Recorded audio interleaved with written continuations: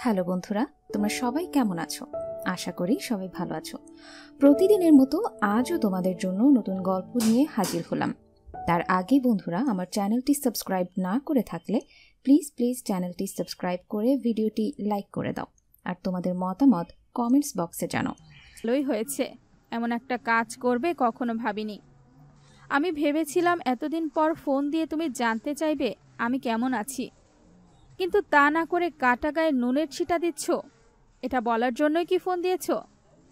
সেটা বলার প্রয়োজন মনে হয়নি, কারণ তুমি ভালোই আছো।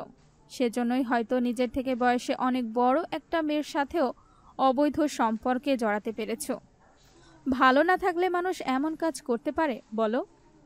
আর সবাই না হয় আমার সম্পর্কে জানে না তাই, এমনটা বলছে। কিন্তু তুমি তো আমার সম্পর্কে সব জানো। আমাকে চেনো আমি কেমন মানুষ?